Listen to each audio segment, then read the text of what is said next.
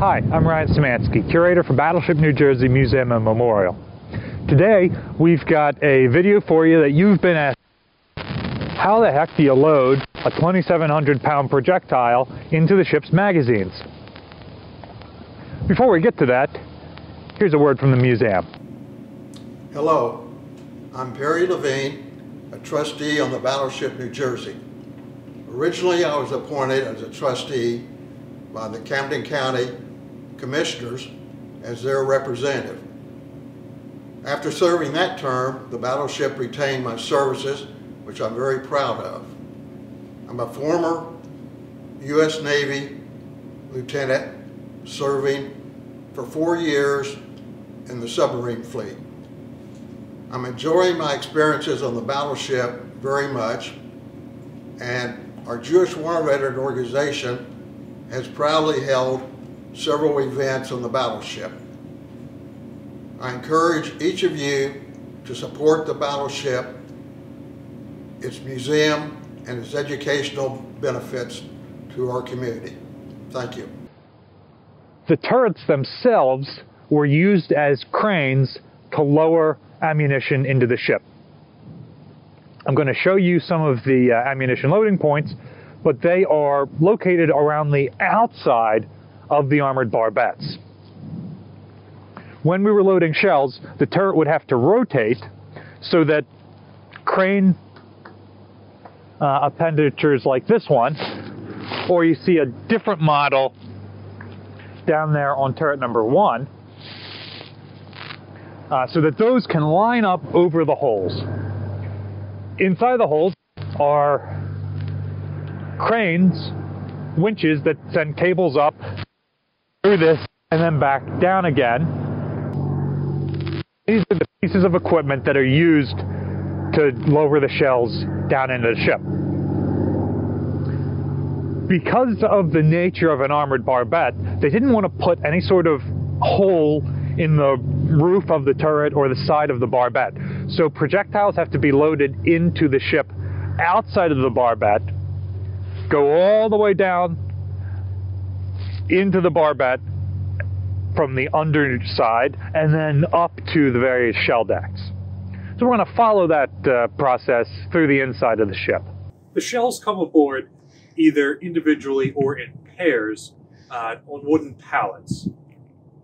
Typically, this would be done during underway replenishment, although it could be done pierside, and it could also be done by uh, vertical replenishment, would be a helicopter carrying them over. That, of course, only started during the Vietnam War. Once on deck, the ship has a number of carts like this for moving the projectiles around, and a number of carts like that one for moving the powder around. The powder comes aboard in aluminum canisters. The canister is about 20 pounds on its own, and it'll hold three 110 pound powder bags. The shells would typically have a cap over the nose and a leather band wrapped around the uh, brass rotating ring to keep that from getting damaged. Brass is pretty soft, and if that gets damaged in the transit, then that might prevent it from uh, gripping the right foot of the barrel. So once the uh, projectiles come on deck, and if we're doing an underway replenishment or vert rep, they're probably coming aboard either all here at the bow or all back on the fantail. Well, then you got to get them to their actual gun turret. So these carts have wheels, and you can roll them wherever they need to go. Underneath of each of the turrets are a couple of hatches like this one here. These hatches have a sheet metal cover on them to make them flush with the wooden deck, and then they've got an, an armored hatch underneath of that uh, that's normally bolted in place but can be open. And then the turret would rotate around, and using that crane we just saw, they would lower the projectile straight down there, uh, and it is one of the few places on the ship where it forms a pretty continuous trunk all the way down. Hence the heavy bolted hatch, so that we don't get any sort of explosions going through, and hence it being outside of the armored barbette. So if something manages to punch through that uh, trunk, it's not actually where the ammunition is in combat. So here we are at one of the hatches inside the ship. Again, you can see it's bolted down pretty heavily. So it would take a small wrench to open all this. These bolts are attached to dogs, like this one in the hatch in the overhead. And you can see all this cabling that is fouling the hatch. Well, obviously that's museum era because when the ship was in service, you would never have that cabling here where the uh, ammunition is being loaded. The powder or the shells are coming down through round hoists like this one. The powder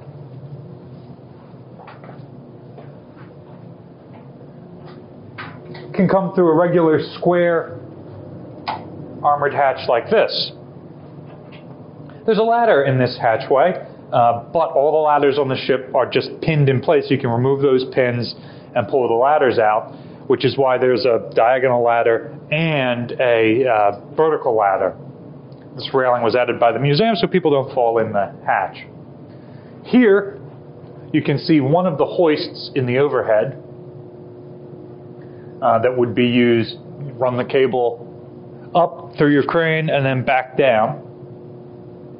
Uh, these come in two different sizes. There's one for the projectiles, which can lift over a ton, and one for the powder, which is less than that.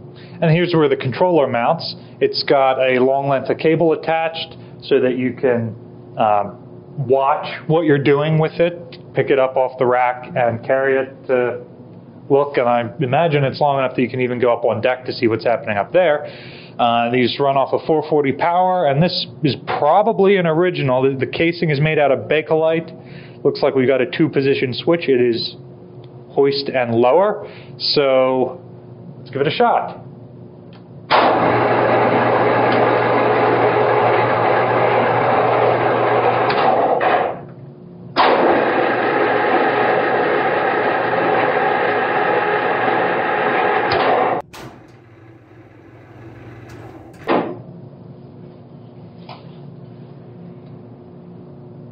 That still works.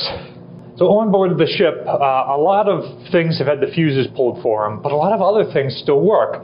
We use a lot of the ship's original systems for climate control on board, and uh, clearly this one still works, although I couldn't say that all of them for all the gun turrets do.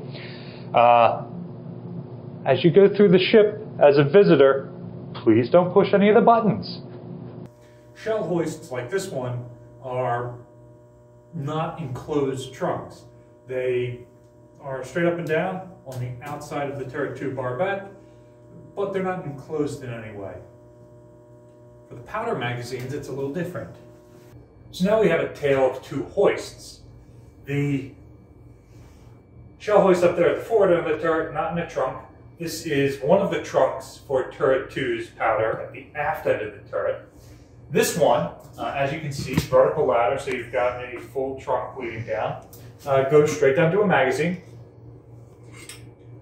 and also has access to forward plot. Above us, we've got a hatch in the overhead that leads all the way up to the main deck, and the hoist that's up there to lower everything down. Now, if you turn around,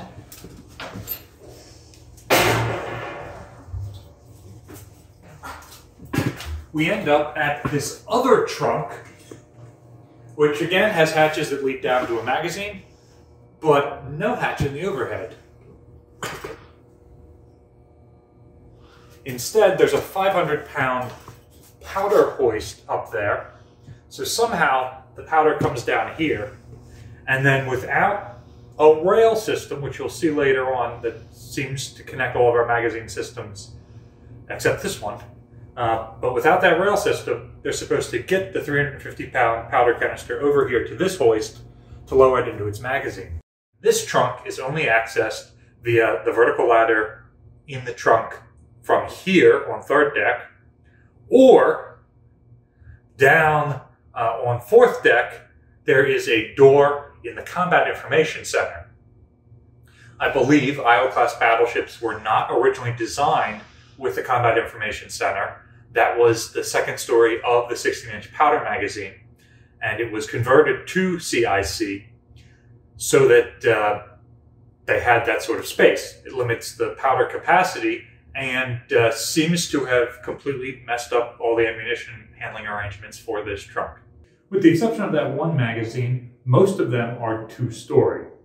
So, powder comes down a trunk like this one, and then down here on this level, we've got a rail in the overhead that we can sling that powder up onto to to move it to one magazine or the other. So we've got magazines on each side which feed turret 2, and we've got the centerline magazines here like this one that feeds turret 1 forward of me. They're all connected by these I-beams, with the exception of that one trunk. Um, and they're all two stories tall. So there's ammunition above and below in this space where we are, connected by a gravity hoist. Check out the video in the description below that shows how the gravity hoist works and the uh, two-story magazine system, if you'd like more information on that. Anyway, from here, the powder is safely stored and it can be taken from its canisters to the rail and then passed through the annular space into the turret where the hoist is. And we cover that in a, uh, I believe in the same video on ammunition handling. So check that link in the description if you're interested. Iowa-class battleships carried more ammunition for their main guns than any other battleship. They could carry 130 rounds per barrel. Uh, and so, an Iowa-class battleship carries approximately 400 tons of ammunition just for the 16-inch guns. We've got more for the 5-inch guns and for other weapon systems. Uh, and that is why every time we go into or out of a civilian port, uh, we've got to offload all this ammunition and then reload it again. So for example, if we were going into New York, we would have to stop at Bayonne, New Jersey. They've got a two mile long pier there. We can offload all the ammunition onto trains uh, before you proceed up into New York. We do this because during World War I, an ammunition ship blew up in Halifax Harbor and destroyed part of Halifax. Uh, so from then on, U.S. Navy ships offload their ammunition when they're going into a port at designated areas, and then they've got to reload every time they go back out to sea. Uh, then we can also do underway replenishment if we're underway. So that's 400 tons of powder leaving the ship, and um, roughly 1,200 shells at a ton apiece, 1,200 tons of projectiles that have to be offloaded from the ship every time we go into or out of a port. Uh, and so you can see that this system is pretty complex considering it's something that was intended to be done frequently. Uh, and the solution to that is you just throw more men at it. The, the gunnery departments have a lot of uh, low-ranking, non-rated enlisted sailors Uh, who are smart like tractors and strong like oxes. So they are able to manually load and offload a lot of this stuff quickly. So here is our shell loading hatch, the round hatch in the overhead. So the projectile comes down to here, and then we've got place to mount a rail. Come on into the annular space. Here you can see the pieces of rail that should be there. And they attach right here. So you bring this shell down, you sling it up on the rail, and you slide it.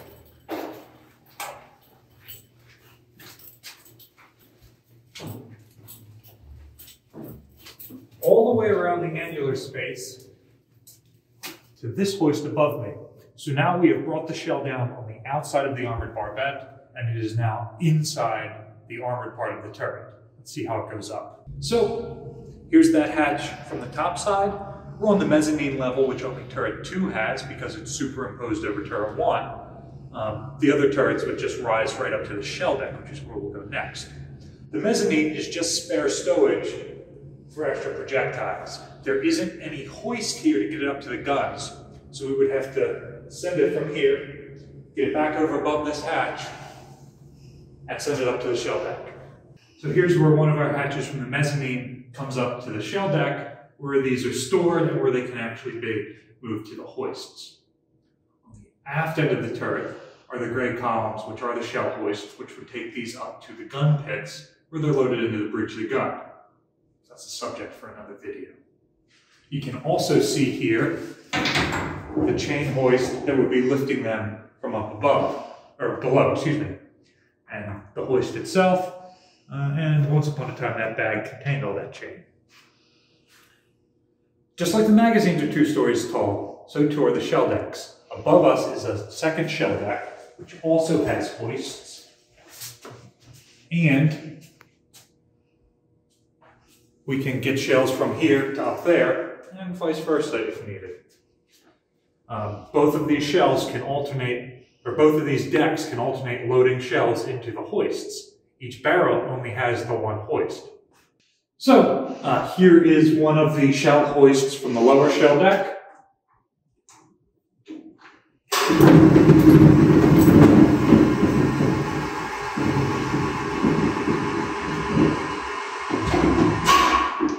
And that's how we raise a shell.